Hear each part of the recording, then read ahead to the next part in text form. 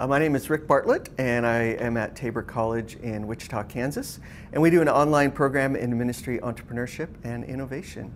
Entrepreneurship, people always think they have an idea, you know, it, whether it's from a business angle, um, you're starting a business or something like that, or if it's ministry, then are you starting a coffee shop, but it's a Christian coffee shop, or that kind of thing.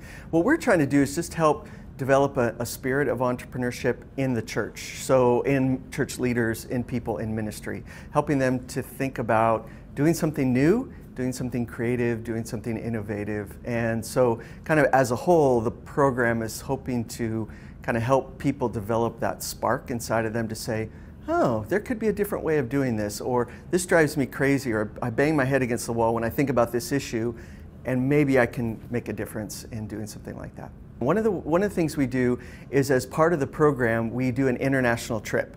So every year I get to take that year's cohort to, a, to an international country. So I've been to Thailand, to Turkey, to Colombia, and this year we're going to Paris.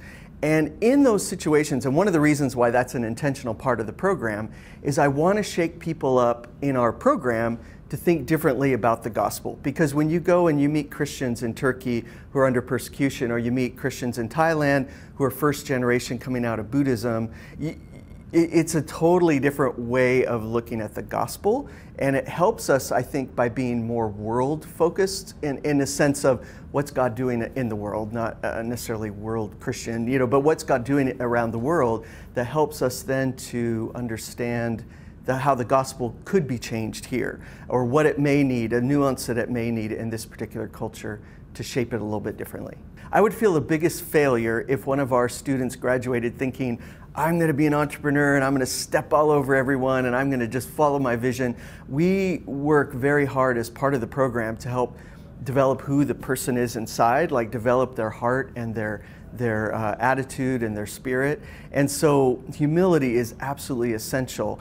And in the midst of that, too, working together with others. I mean, we model that in the program, but we also seek to model that in how we interact on assignments and even just the interaction we have with one another. Because ultimately, not one of us is going to do everything on our own. Like, we have to work with people whether that's the church people that we're with, or whether that's a community that we're seeking to connect with, or whether that's just our team of people that we're working with. So, in order to do that, someone has to be humble, and that is extremely important and one of the things that we focus on. It's, it's for people kind of two different people come to the surface. Um, one are people who kind of have a dream, have a passion, have a vision.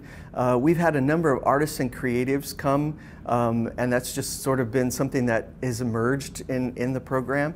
And I think the other group of people have been people who, for whom traditional school and seminary and that kind of thing, it just doesn't fit. They've kind of thought, yeah, that's really not for me, so I'm just not going to even think about doing something like this. And so I've discovered that people kind of come along saying, I never thought I would ever do a master's. I never thought I would ever keep going for education, whatever that would be. And this actually has worked. There's been cohort, there's been community, and it's kind of walked me through something that's going to help me finish. So, yeah, it's sort of for, I mean, it's for anybody ultimately, right? But it's those sort of people groups have emerged as the people that have really taken it on. One of our students, as part of her project from the very beginning, she said, uh, she was from Wichita. I want to stop human trafficking. And you know, we said, that's great, it's awesome, it's a big project. Um, go find out what's happening now. And so, as she spent the first semester researching what was actually going on, she discovered there's tons of, obviously, a big need, but there are lots of programs already doing things that are very, very good in our community. And so, where she found a need, though, was that the people doing frontline work were actually burning out, you know, transitioning. They just couldn't keep going. And so, long story short, what she did as her final project was a soul care day for those workers who were working with the people coming out of human trafficking. And so, if you were to say from beginning to end, yeah, she completely transitioned and changed while keeping the kind of same heart that God had put into her to help people in that particular realm. Um, there is a there's kind of a misperception about online education, and one of those misperceptions is is it's like correspondence course. You know, you just kind of log in, you do it whenever you want, and that kind of thing. And the the realm of online ed at the moment is completely different. I mean, we have students that are taking classes They're six weeks long, there's an instructor involved. So, one of the things that helps with online ed is, is the instructor presence. I mean, they're, they're present, they're walking with the students. I'm teaching a class right now while I'm here, and I was out just a minute ago on the, on the website, on the class site, you know, interacting with students and that kind of thing. So it can be done, and it can be done from anywhere. Um, so that's a really significant thing. And if an instructor, and part of our way our program is designed is to build community. And so we're really focusing on that in a variety of ways, including like the international trip. I suppose one, one story, I, I did my MDiv just normal, you know, went to normal classes and stuff. And then I did a doctor of ministry online.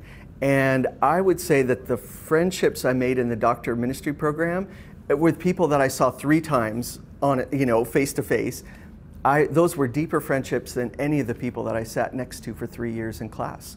So I, there is a way to make it work and to really make it work for people. That is true to developing a pastor or a leader or a church member. You know, it's not just off by yourself and then later we say, oh, go work with people. We actually spend a lot of time together, even though it's online. Everyone's focus in, in this kind of two year master's program is a final project. And so they're going to come out with something that practical that they can actually do. But bigger than that, my hope would be that people have new eyes, new eyes that maybe have a more global focus, new eyes that help them see that ministry doesn't have to do be the same all along and then also new eyes that say you know what the the way that culture is moving the way that the church is, is maybe needing to move to meet culture in a, in a you know a nice intersection point is going to be different. And so i want people to leave kind of thinking differently and having a more global focus and then a, a focus that's going to say i want to i can make a difference. And i know